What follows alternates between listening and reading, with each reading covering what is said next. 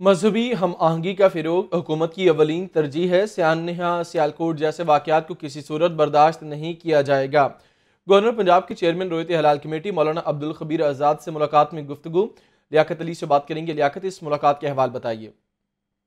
आज गवर्नर पंजाब से मोहम्मद सरवत से चेयरमैन रोहित हलाल कमेटी, मौलाना अब्दुल खबीर आज़ाद ने गवर्नर हाउस लाहौर में मुलाकात की। गवर्नर से पीर नाजुम से हमशा और दीगर वफूद भी मिले। इस मौका पर गुफ्तु करते हुए गवर्नर पंजाब से मोहम्मद सरवर का कहना था कि वजी अजम इमरान खान हकीकी मैनों में सफीर अमन है और दुनिया अफ़गानिस्तान को तनहा छोड़कर तबाही को दावत देगी। जो मोहम्मद सरवर का कहना था कि पाकिस्तान अफ़गानिस्तान में अमन इस्तेकाम के लिए फ्रंट लाइन पर काम कर रहा है मजहबी हमंगी का फरोग हुकूमत की अवलीन तरजीह है।